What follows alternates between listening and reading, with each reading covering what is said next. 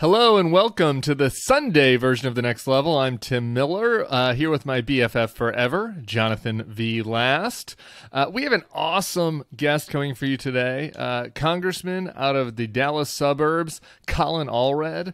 Uh, Congressman Allred was an NFL linebacker. Uh, he played at Baylor all four years, went undrafted, and then gutted it out through training camp, made it into the NFL just based on his own fortitude, testicular fortitude, internal mental fortitude, whatever it is. And uh, it's a great interview. We do. He's also on the uh, oversight committee right now, um, and so we ask him about that. Um, we ask about Ted Cruz. Uh, we talk about his football career and his time in Congress. JVL, what'd you think?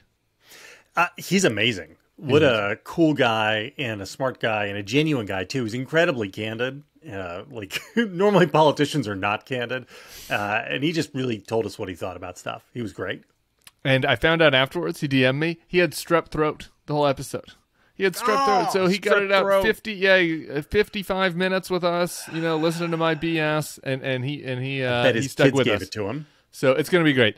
Every week, by the way, for folks who are new to the Sunday show, every week we're going to do a little bit of politics at the top before we get to our special guest interviewer. Some weeks the interview is going to be more about stuff outside of politics, and we'll talk more about politics at the top. This week, since we had a congressman, we did quite a bit of politics. So I thought that maybe we just start really quick, JVL, with something a little, some little lighter fare. Maybe a little lighter fare. I don't know. Oh, Old Puddin' fingers. Yeah, yeah, a little pudding finger content. Tiny D, Meatball Ron. Um, have you seen this video uh, that's been going around this morning? Uh, it, I guess it went around in 2018, but I just I must not have paid as close attention to the 2018 Florida governor's race as I thought, and it's been resurfaced uh, uh, uh, here on Friday morning when we're taping this. And uh, have you have you seen it yet? It's about Ron DeSantis's name, uh, how he pronounces me his with own it. name. Okay, Hit let's- me with it. Sebastian. Let's just do this. Let's just do it live. I am Ron DeSantis. I'm Ron DeSantis. Uh, I am Ron DeSantis. This is Governor Ron DeSantis. Hello, this is Governor Ron DeSantis wishing everyone a Merry Christmas. What? Hi, this is Governor Ron DeSantis, and I want to wish you a happy Thanksgiving. Hi, I'm Governor Ron DeSantis. Is that a deep fake? I, I, I literally, I was, I saw it on Twitter, and I thought it might be a deep fake before I suggested we discuss it. So I went back and I found a YouTube clip, a news clip, a legit news, not fake news from 2018, where they had it. Ron, Ron DeSantis doesn't know how to pronounce. Ron DeSantis. Well, see, here's the thing. Here's the thing. Ron DeSantis loved Paul Ryan and loved Ukraine and wanted to go in there and gut Social Security, Medicare, and kick all those old folks off the because of the free markets. But Ron DeSantis, he is an America firster who is absolute hates the globalist cucks and is never going to touch your entitlements, dear old people. It's it's interesting. I mean, I, you know, I, I get it. I look I, after a few bourbons, I slip into say, a little bit of a southern I've drawl. changed. I do. I've changed so much. I don't even say my name the same way. Yeah, I've I've I've been known to pick up a Louisiana accent um, that's not authentic, uh, and and so I get ch- your own name. That's a little weird. It's a little odd in your in your forties to decide that DeSantis. Was he worried about the Tiny D nickname? Did he foresee that coming? Do you think? And he was like, "I don't want to be Tiny D, so we're gonna go with DeSantis." The other theory from the video I watched, Casey, the wife, the wife might not have liked DeSantis because on hmm. her videos it's always been DeSantis. I don't know. It's odd. It's it's a little. We can. And it's not the biggest deal in the world. You know, it's surely not the same as like Donald Trump putting out a video doing Henry Wallace like we should blame Americans instead of the commies. Kind of. It's like it's not as big a deal as that, of course, but it's weird. You'd, we'd have to concur. Well, it's of a piece with the idea that he isn't who he says he is, right? And this is, I I would say, this is Trump's main line of attack: is that this guy over here, he's just copying me. You can't trust him. He's just, you know, look at what he was saying about Paul Ryan just five minutes ago. And I don't know, you know, this is Amanda and I, Amanda Carpenter, uh, and I talk about this all the time. Which is, on the one hand, you can see how arguments would find purchase with with voters, but on the other hand, a lot of politics is just id, and if voters like him, they'll, you know, you, you could shoot a guy on Seventh Fifth Avenue and they won't care. Yeah. All right. Well, this is this is going to be a really great interview. Stick around for Colin Allred. If you are a if you're an audio listener of this podcast, go to YouTube. Subscribe also on YouTube for us. Comment on YouTube. Like it. Uh, we're, we're you know we're trying to reach the masses out there. You know on the World Wide Web. Uh, so go to YouTube and subscribe as well. Uh, you're going to really enjoy this. Stick around to the end.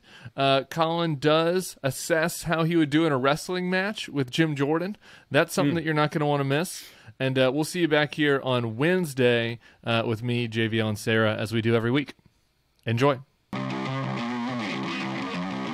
Hello and welcome to the Bulwarks Next Level podcast. I'm Tim Miller with my best friend JVL and my aspiring best friend, Congressman Colin Allred of the uh, Dallas, uh, outside of Dallas district. Congressman, thanks for being with us. Yeah, thanks for having me, Tim. And good to see you, JVL. Hey. It's gonna be it's gonna be so good. I've been excited to do this. So I, this the origin story of this podcast is I was watching you just tomahawk dunk on the dude that uh, uh, was the uh, test uh, the testifier, the special expert that the Republicans picked for the weaponization committee, who I guess had great insight supposedly into the FBI, despite the fact that he hadn't worked at the FBI since like 1986 uh, when they were using pagers, and uh, and I was I was just getting a huge kick out of that, and so I thought it'd be fun to have you on.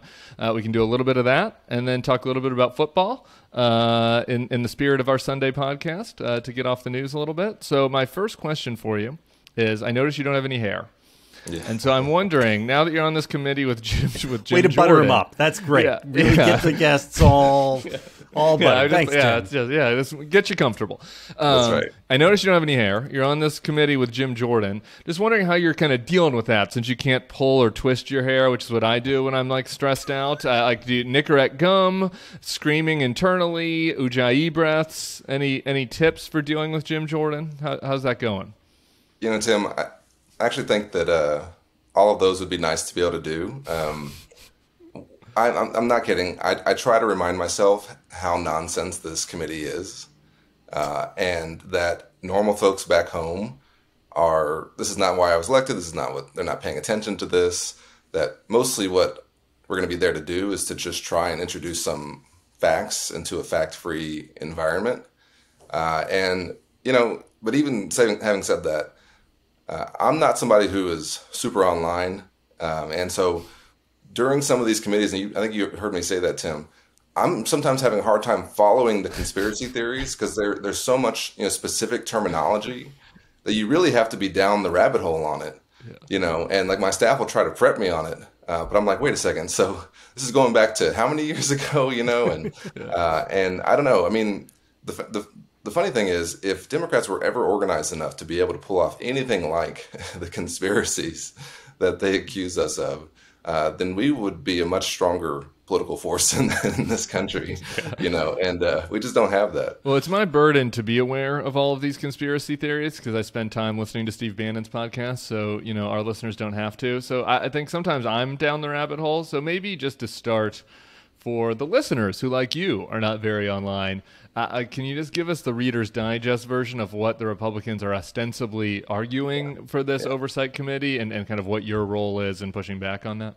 Yeah, so the, the, the premise of the committee is that the Biden administration and the previous aspects of the Trump administration, particularly the national security aspects, the FBI and, and others, uh, are, quote, weaponizing the federal government to attack and censor conservatives. And, uh, you know, it's an interesting theory, uh, particularly since a lot of this occurred during the Trump administration, especially what we've talked about so far.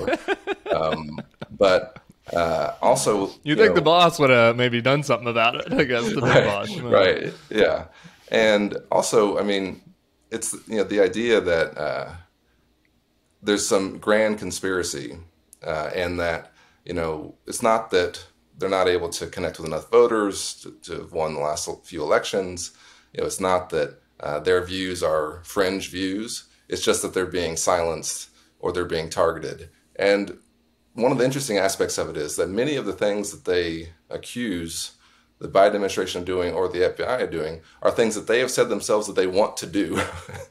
you know, that you know, I mean, this is it's it's very much a projection. Every accusation is a confession type situation. Right, exactly. It's very yeah. much projecting you know, this is what we would like to be doing. Um, unfortunately, we've not yet been successful in doing this, but you know, I think it's a preview should Donald Trump return that you know this is a preview of the kind of the retribution to use his word. I think that uh, that they would be seeking. Our role, I think, uh, is is fairly straightforward.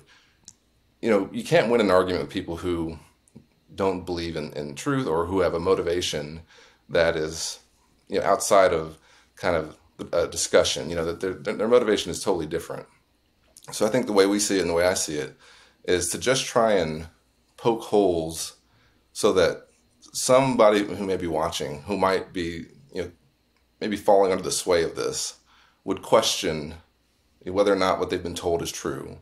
Maybe go find out for themselves whether or not, you know, it's really true that you know, Democrats are this bad, or that you know the all of our national security agencies are mostly focused not on China, not on Russia, but on conservative Americans.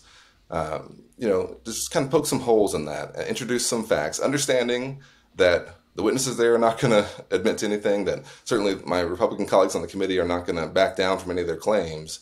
That's not what we're trying to do. And so it's one of the least productive, it is the least productive committee I've ever been on. Uh, there's, there's nothing that's going to come out of this. No productive legislation, nothing to help average folks, nothing to help people who are you know trying to get by out there who are working hard. None of that. It's just going to be you know, partisan rancor. And to be honest with you, Tim, I think you know this about me. That's not exactly my, you know, my forte, but that's what we're doing. So, um, do you hear from people in your district about this at all? Like, does any of it? Because we, you know, I think Tim coined the the term, you know, a couple years ago that there was this Trump cinematic universe, mm-hmm. and it's like you know dropping in to see the fifteenth Marvel movie if you've never seen any of the others. Yeah, right. You can't follow what's going on. You're like, who's Ant Man? What's happening? and I think there's an aspect of like the the lovers Peter Strzok. Who is that? Right. right. Uh, so when I don't know, like you're you're back in your district and you bump into somebody at the is it Heb or H E B? I don't know how you say H-E-B, that. H E B, yeah. But if you know, so you bump into someone at the H E B, are are they like you know, hey, that that weaponization thing, you know, Congressman, why aren't you doing more? Or does it just go right over their heads? Is this is this basically content produced by the cinematic universe for the cinematic universe, or is it playing at all to people? I really think it is. Uh, it's cable news fodder, and, and so folks who are maybe really plugged in on cable. But even you know Fox was cutting away apparently and not showing the committee because it was so boring and didn't have anything to deliver. Uh, and so honestly, my office gets a lot of calls during these hearings, and they're almost all from outside of the district. Uh, they're not folks who I represent. Uh, they're just folks who are watching and who want to call and yell at a Democrat. Uh, and, and and so you know I I have yet to have a in person conversation uh, about this. Um, you know, when I drop my kids off at their their daycare, you know, nobody's coming up to me and being like, "Wow, you know, I'm really worried about the Twitter files." You know, like uh, it's just not.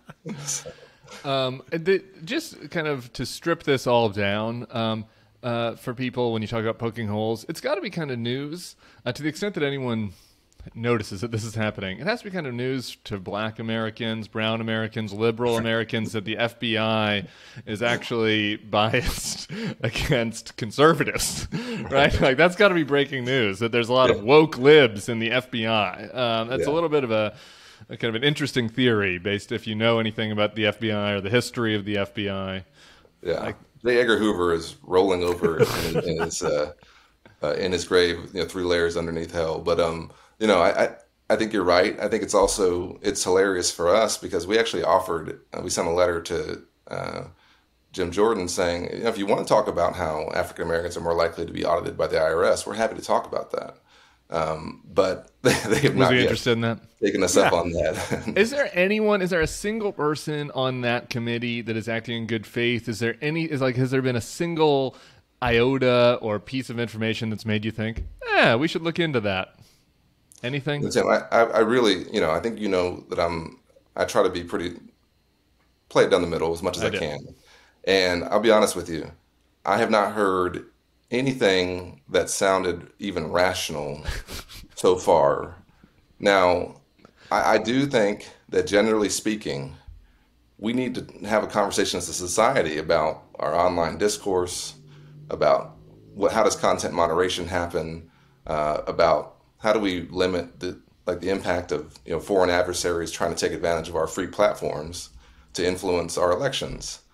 and I wish we could have a productive conversation about that, where we try and you know walk the narrow line there between what could be government overreach. Um, if, you know, if you're you're shutting down a story because you think it's a, a Russian op, uh, and maybe it's not, um, or uh, what kind of speech you know is and is not dangerous and is acceptable on these platforms. As you know, they're not they're not government platforms; they're they're private institutions. Uh, and so there's a there's also a nexus there that which one are we which lines are we crossing? Is it First Amendment? Is it is it just you know the, the business values of that platform? That would be an interesting conversation to have. And I'm happy to have that conversation because, as you said, for African Americans, this is something that is it comes up all the time. You know, a feeling uh, that you know the government uh, is for lack of a better term, monitoring you. You know, I got fr- I have friends who like if they get a parking ticket, they're like, oh, they're after me. You know what I mean? it's the old Tom Hanks Black Jeopardy skit. You know, yeah. like, Tom's yeah. making sense.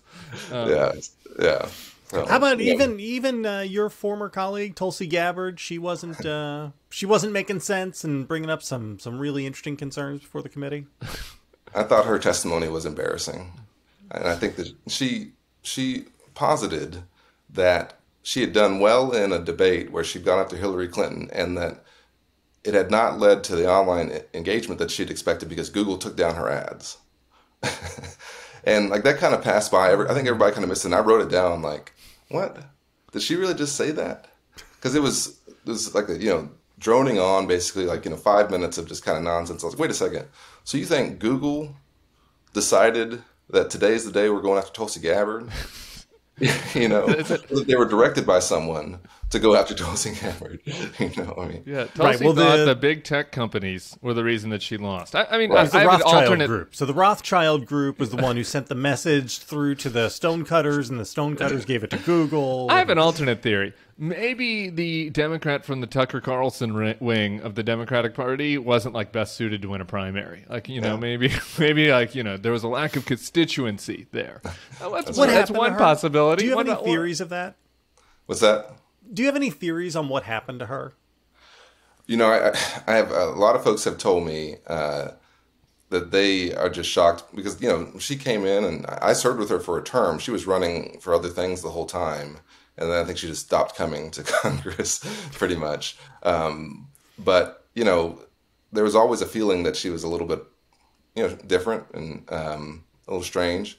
And Tim, you've written about this, I think, extensively, and y'all talked about this for there's certain kind of allure to this whole uh, authoritarianism mix or whatever you want to call it that can sweep in these kinds of personalities. Um, and you know, there's a fine line in some cases almost between being like a contrarian, right, and and and being a conspiracy theorist. And uh, and you know, I also though think that um, she saw that her path forward in the party was blocked, and she's taken a, a, totally different path that's you know maybe financially more lucrative. And I, think we always kind of discount that right? Like yeah.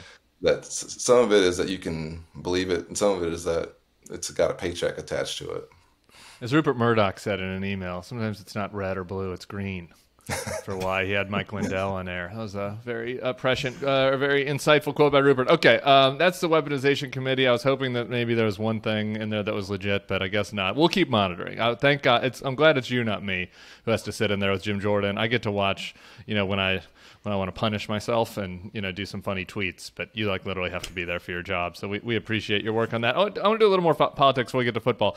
Um, sure. You represent uh, W's district. I do. Yeah. He's a constituent. Yeah. Um, uh, yeah, he's a, he's a. I consider him a friend, actually. Yeah. Okay. So what what do we think? So we got W and Laura. Um, do you think you got two votes out of that household, or just just one in the last um, election? I I actually think that they have not yet voted for me. you don't think you don't even think Laura? Maybe Laura. Yeah. Maybe I think Laura. They might not admit to it, but I yeah. I well, I bet a yeah, cookie that they voted for you. Frankly, um, yeah. No, W called me after I got elected, and I, I, didn't answer because I didn't recognize the number, and he left a hilarious voicemail on my phone. I wish I had kept it. I stupidly erased it. What was the bit? It was basically like you know, it's like it's like you know, it's like Congressman, you know, uh, congratulations. And he's like, you know, it's like I'm not gonna be one of those constituents blowing up your phone and, and sending you a bunch of letters, but uh, let, us get together, you know, and you know, and, and so we we had a we scheduled a meeting and uh, we, we supposed to be about a 30 minute meeting. I think we met for about an hour. Uh, and he was just so funny the whole time. And I'm a big baseball fan. I was a big Rangers fan. He was a former you know Rangers owner, and so we talked a lot about that. Uh, he talked about kind of the presidential, post presidential speaking circuit, and he's like, you know, I believe in freedom of speech but not anymore. He's like, they got to pay me now. He's slowly kind of morphed into the Will Ferrell caricature of him, yeah, like yeah, in, in, his yeah. post presidential life. I got to spend a little time with him in 2016. Um, so I, the more I, like, it is relevant though. It's it's telling that that W is there because you are you're at like I think the beating heart, maybe the Atlanta suburbs is number one, but yeah. the Dallas suburbs is like the center of, of these voters that I've written about. We've written about the bulwark that, called, that I call the red dog Democrats, yeah. right? People that are suburban, traditional Republicans, Bush voting Republicans. They live in big metros. A lot of times they live in red states. And they might not be ready to identify themselves as Democrats yet, but like for mm-hmm. practical purposes, they are, right? Like they, they are not interested in the anti woke stuff. They're not like you know interested in the uh, hate Trump. You know they're not interested in the isolationism. You know they they liked compassionate conservatism, right? Yeah, like that was the draw for them. It.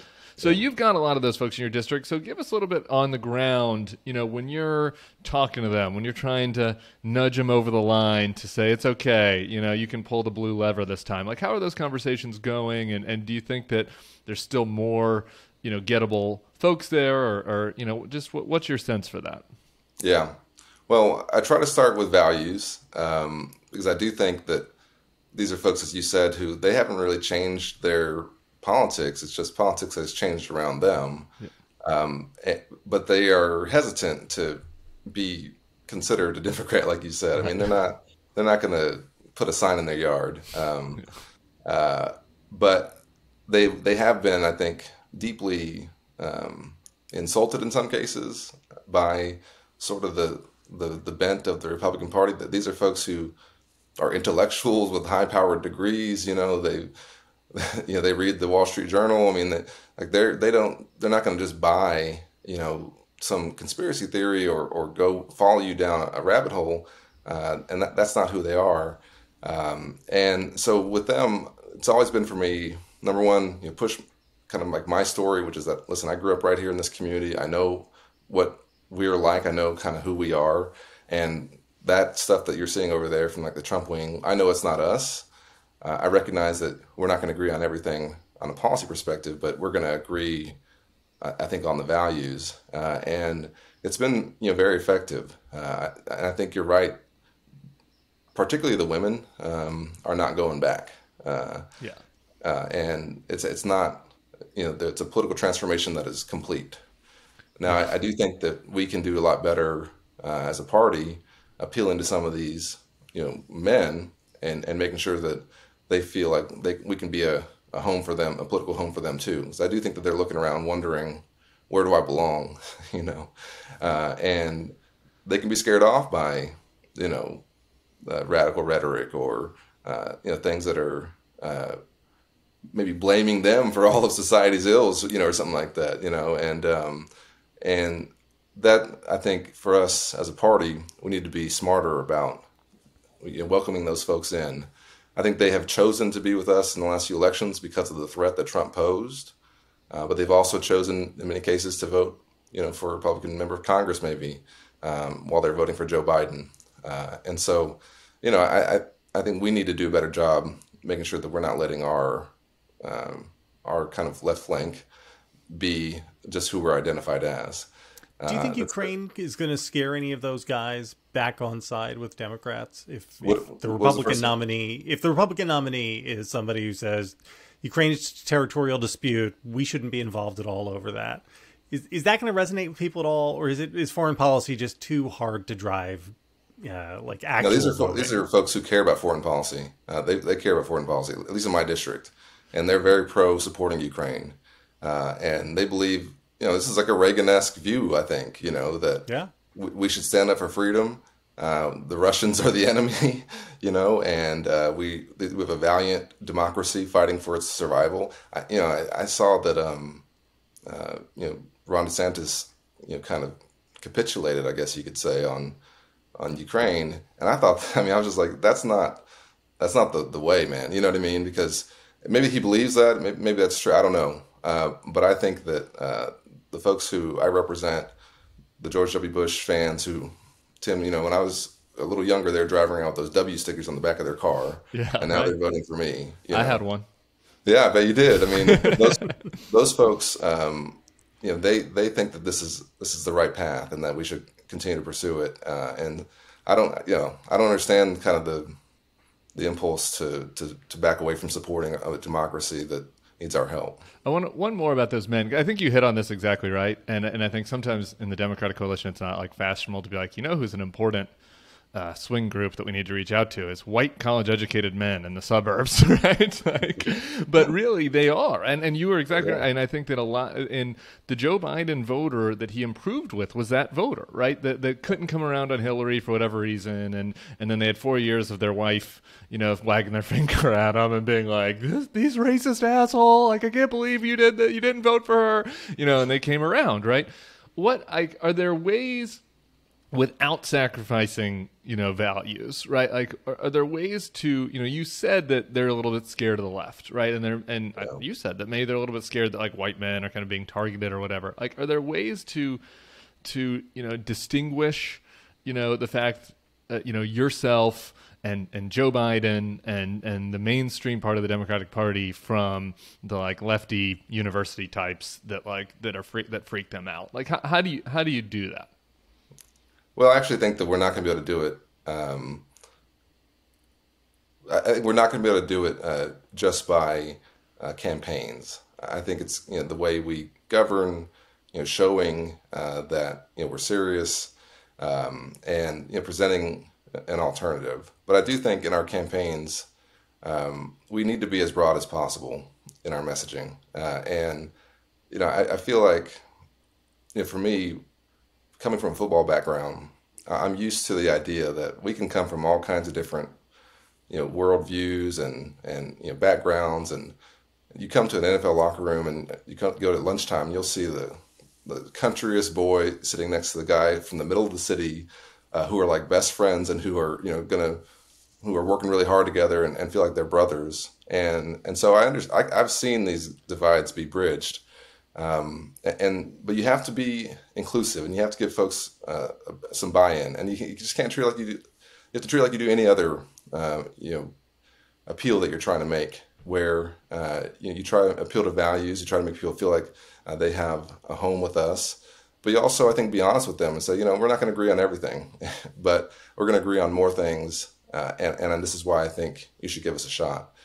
And I have said this for some time that I think, in particular, uh, these are pro democracy folks uh, who, um, and I think the biggest divide in our politics right now isn't so much between Democrats and Republicans, it's between folks who believe in our democracy and those who don't.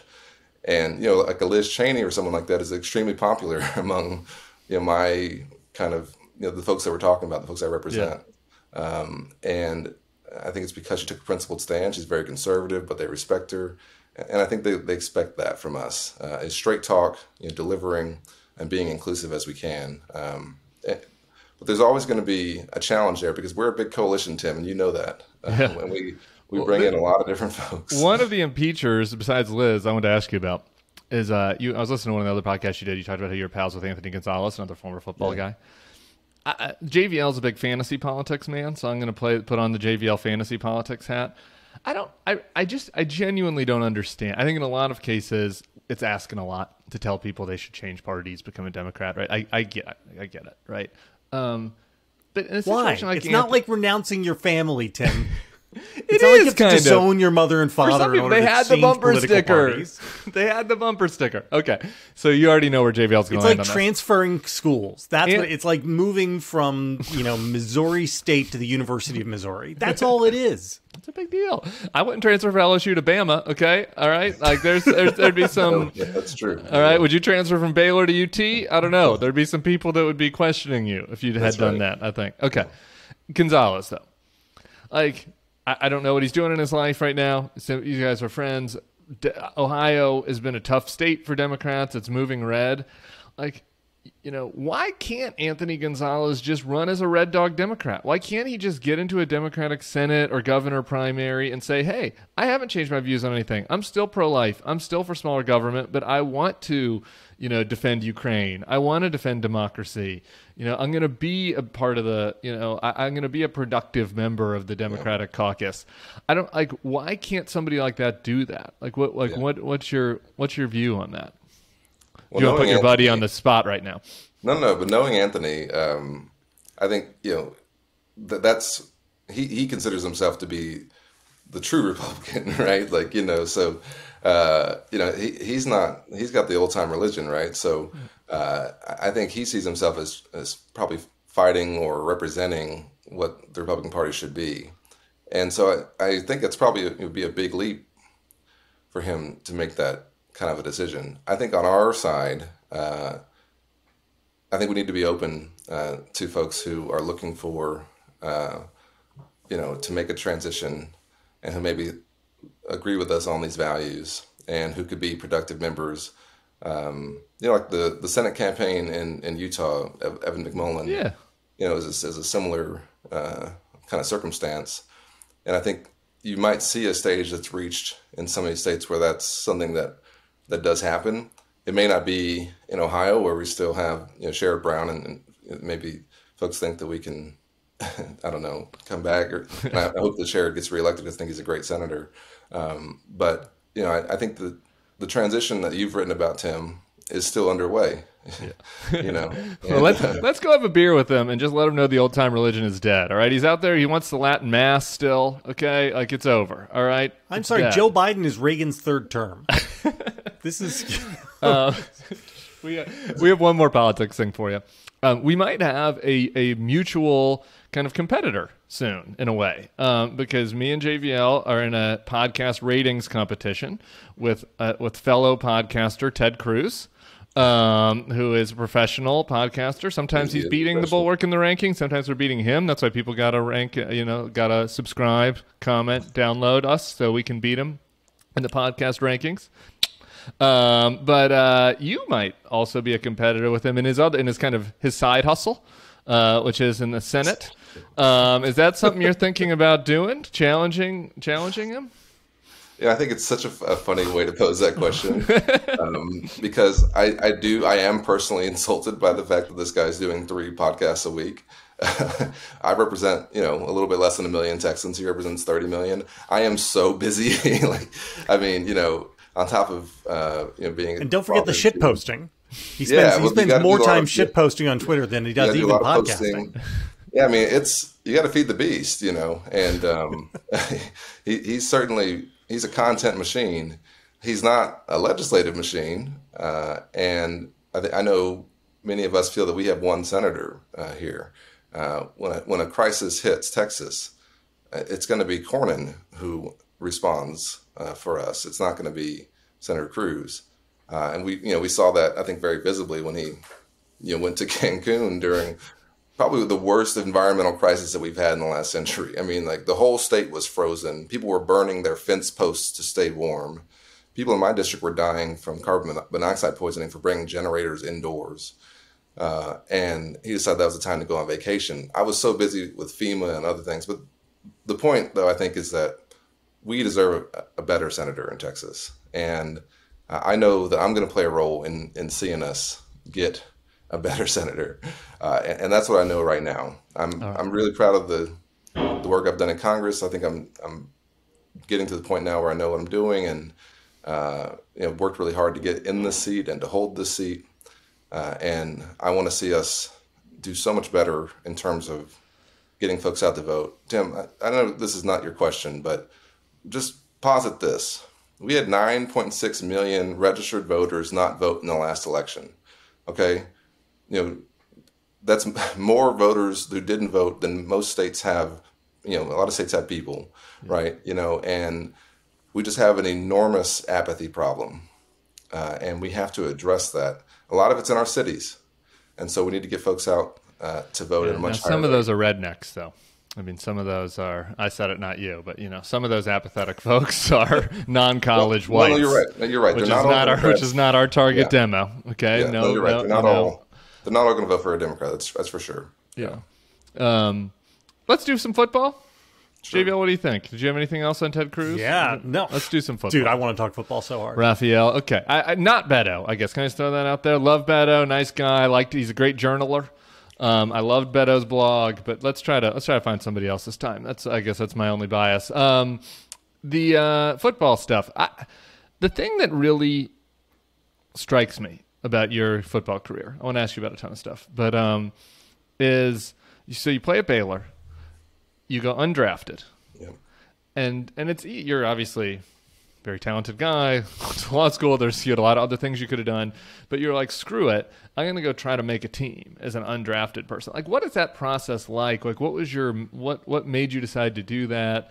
Uh, uh, you know, tell us like for those of us who have no experience with anything like this, who have chicken arms, like what's it like to just be the undrafted guy showing up to camp, trying to make the team? That had to Yeah. be crazy. Yeah. Um, you know, I don't talk about this as much because most people, when they see that I was an NFL player, think that I you know, went to the combine, was drafted, and got, made a lot of money.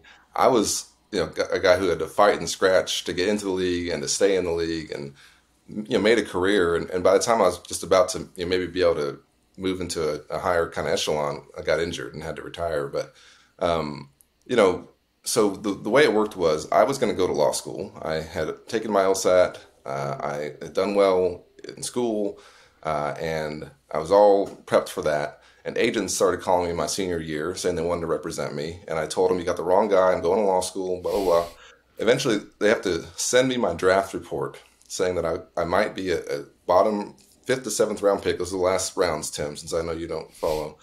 No, I follow. I know. I Okay, follow. okay. I know the rounds. okay, so fifth to seventh round pick, or I almost wore my Joe Burrow shirt to rub it Okay, in, good. but I I just Joe didn't. I didn't feel. Yeah, I didn't feel like. I felt like that was a little too on the nose, like wearing the band tee to the concert. You know. He, but anyway, is sorry. incredible though. Uh, or a priority free agent, uh, which just means that after the draft's over, you get a bunch of calls. Uh, and so I didn't get drafted, uh, but I was called right after the draft by a number of teams. Um, and I thought I was going to sign with the Cowboys, which would have been great for me as a Dallas guy. Uh, they made a, an offer. We accepted the offer. and They pulled the offer. so uh, I know Jerry Jones, and then um, the ended up signing with the Titans, which was actually not a great landing spot for me because they had just drafted three linebackers in that draft, and they had like you know seven on the roster. And so you know, come to training camp, and there's like you know 14 of us, and six of us are going to be there at the end of it. You know, Wow. uh, and you know, long story short, I get cut. They bring me back. I make the team, and me and one of those other draft picks are the only two who are left standing at, at kind of the end. Uh, and the way I did it was that just like in any other field, you have to kind of figure out like what's what do you what value do you bring to the company, right? Like what's your niche?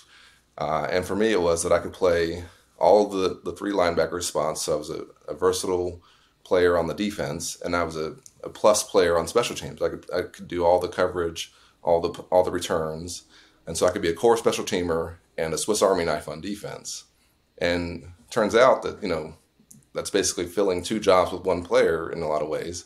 And so I my made my career as in a four three defense where you had three starters. I was the fourth guy. If anybody got hurt, I came in. If we went to an extra linebacker set set, I came in, um, and then played all the core special teams. And you know that's how I made my career.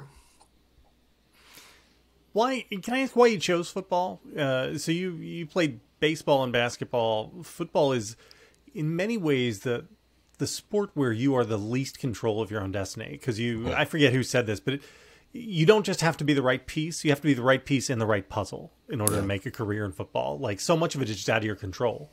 Yeah. Uh, what it, it just you just love balling? Is that was that what it is? Just love No? I- no, I, I you know I, I preferred baseball. I wish I was a, playing center field for the Rangers. You know, like um, I, my body type was turned out that I was you know 6'2", 240 and not 180. You know, and so like I, I just had a different kind of a body type. Cecil Fielder though had a good baseball career. Uh, That's true. Yeah, that's too- true. Yeah, you know, there's some big guys. Do you like that, JVL? I haven't watched baseball in 20 years. I, I can know, do football yeah. with you, but all my Vlog. baseball Vlog. references are from one. Vlog's a big 1992. Yeah.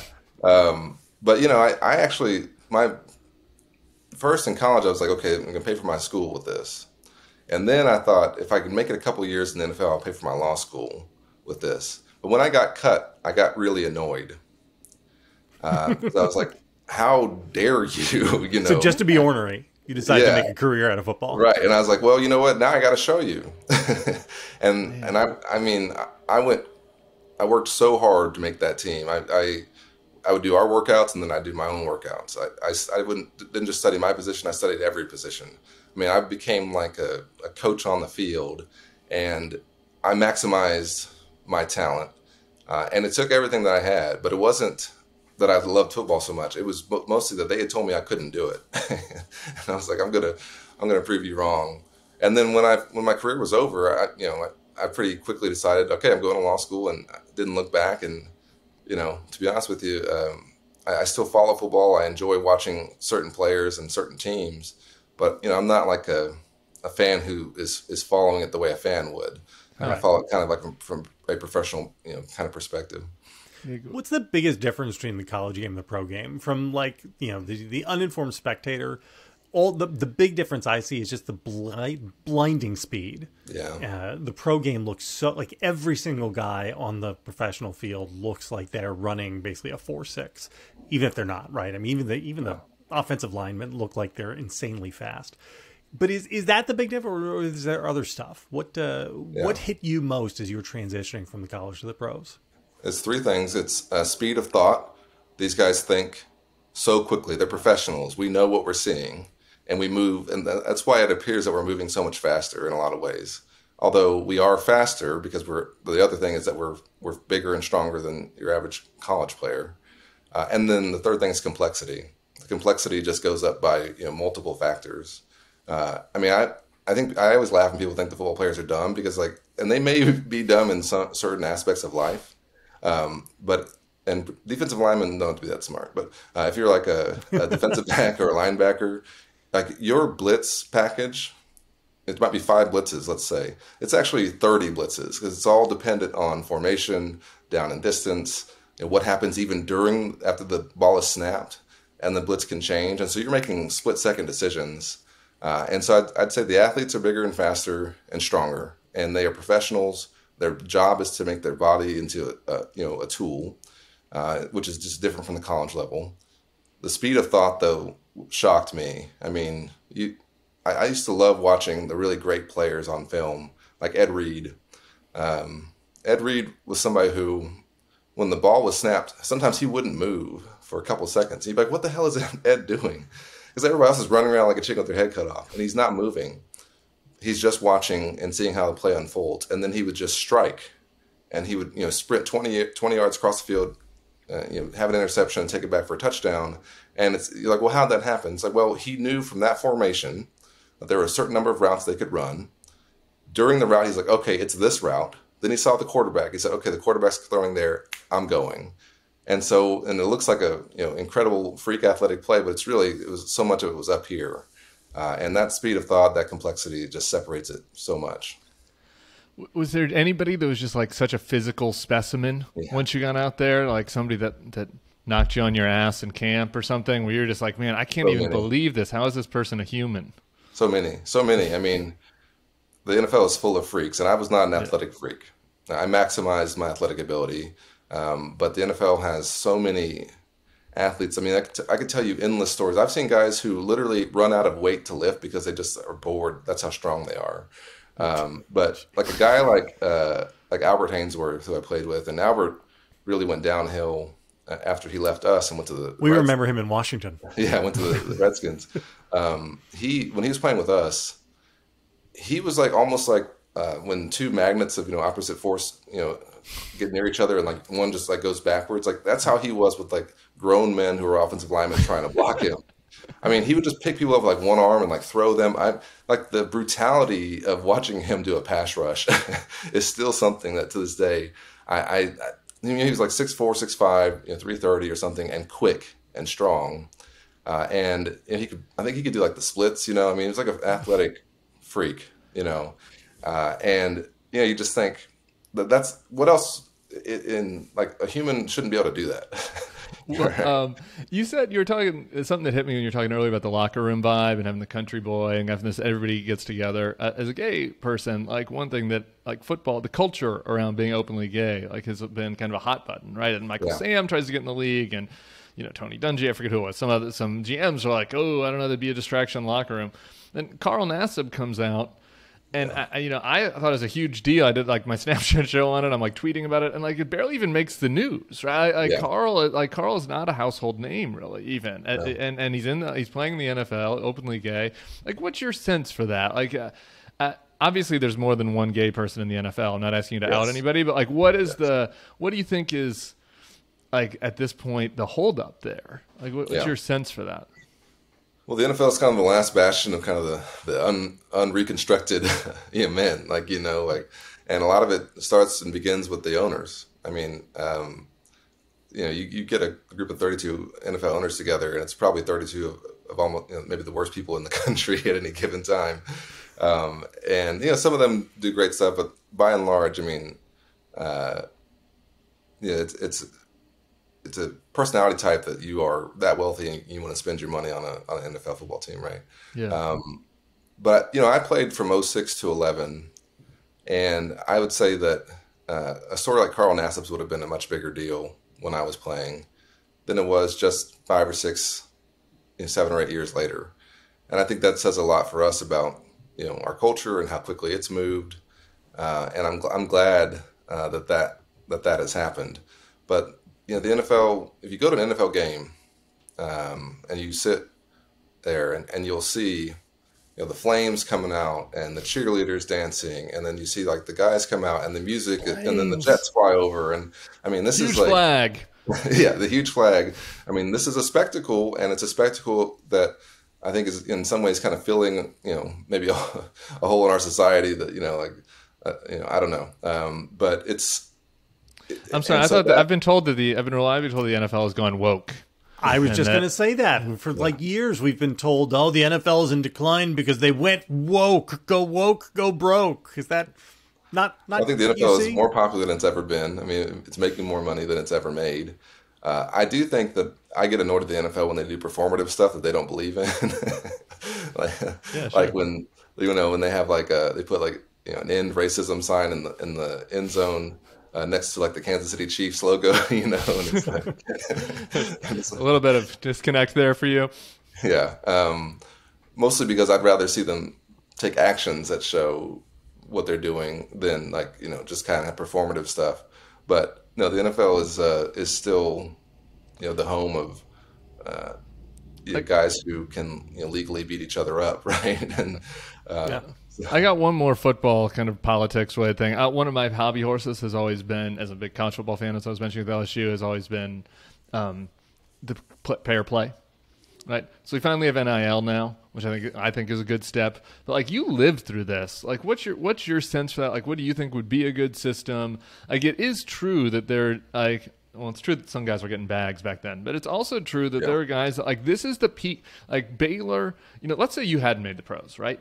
Like Baylor would have, and, and let's say you Mm-hmm. weren't would've a, a law school kind of guy, right? Like a version of Colin that is that comes, you know, that that doesn't have the skills to go do something else that's going to make them a lot of money. That is their maximum earning potential years, right? Yeah. Like at Baylor, they're the hot, they're the big shit on campus, and and they're not, and they can't, they couldn't monetize it. So like, how do you how do you d- deal with that while also still making it be college? Yeah. Well, I remember um, when the NCAA uh, football game w- was coming out, uh, you know, on, on PlayStation and all that. And I would play with my player, and I had a pretty good rating. It was like for Baylor, it was okay, but like, uh, and I, I, it was like I was an impact player, and uh, and the guy, the little character model, didn't have my name, but he was born in Dallas uh, in April, you know, and he was 6'2", 235, you know, like it, this is me, right? And I know that they made just so much money on that game because we played it you know, nonstop, right? And but we saw nothing from that. And I would walk past the Baylor bookstore uh, where they'd have my jersey selling in the window, uh, and you know you wouldn't get any piece of that either. And so, and, and I, those kind of examples always stood out to me because I remember I was so broke, like that I, like you know, for us it'd be like, oh, Like if you get like a package of ramen, it was like a big deal. You know what I mean? Like uh, we were so broke, like dead broke. Like our scholarship check covered our living expenses, and if it was anything outside of that, like that was it. You know, we're talking about going to see a movie. No, no, no. Uh, couldn't afford that, right? Uh, I didn't have any money coming from home, uh, and even like I actually even took out a loan my senior year, a student loan, not for paying for school, just for paying for like you know being able to socialize, um, while these other things were going on, and I think that was wrong. But I also am worried about where NIL is going, particularly the combination of boosters uh, and uh, the state by state difference in laws. I think we have a, a, potential for a race to the bottom here, to where you know how much Tim really is it worth to Louisiana to have the best players at Louisiana State? A lot. A lot. I mean, it brings in a lot of money, revenue for the, for the state of Louisiana, yeah. and there's there's basically nothing that I would say that legislature wouldn't do to incentivize coming to LSU. But these are still kids, and they're still uh, students, and they're still very young. Uh, and so I think we have to have a balance. So I think we need to have a you know a federal standard that kind of sets the rules for the road. Yeah. I want to see it be like Olympians, you know, where you can be on the Wheaties box if you're an Olympian, but you're still an amateur, right? Right. Uh, you can make good money from the the use of your name, image, and likeness. But there are certain things that uh, will be you'll be protected from, because one of the things I've heard about is you know, these uh, agent contracts that they're being that are being signed with these very high commissions for these agents.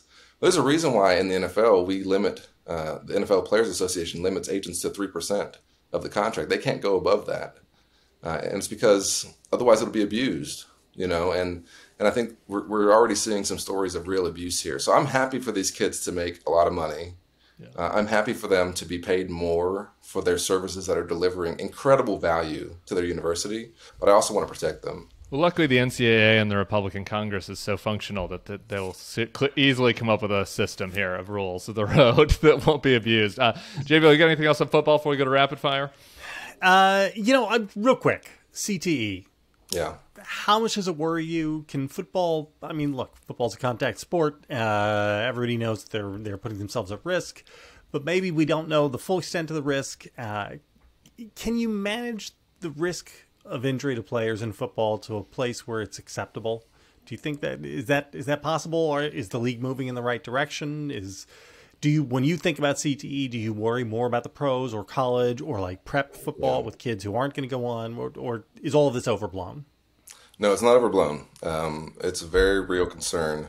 A lot of the, the studies and research on this came out after I left the league or at the end yeah. of my career, and I always felt that since the NFL knew about it, they should have disclosed it to us.